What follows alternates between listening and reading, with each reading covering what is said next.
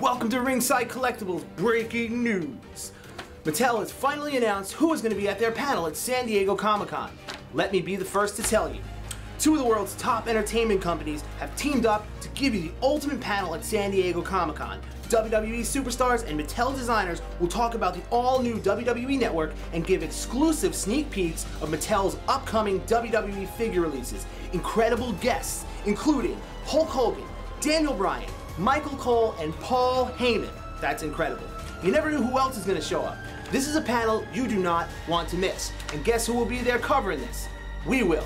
Ringside Collectibles, me, this guy, and a bunch of us here at Ringside Collectibles. Leave your questions and comments and concerns on what you think will happen at this year's San Diego Comic Con during the panel. Because if you can remember what's happened in the past, well, it's been pretty wild. Go ahead, Mitchell. Who cares about Dolph Ziggler and The Miz? You know, the action figures that are actually up there. But you know what? Go ahead, Mitchell. It's your floor. How's life in the unemployment line? Great, actually. I'm actually not looking for a job, but I heard you're trying to crown a WWE champion. Is that true? Rey, Rey, I know, I know that you're, you're a man of honor and integrity. True champ. Rey, Rey, you, you want a title shot, you can come to Chicago and get one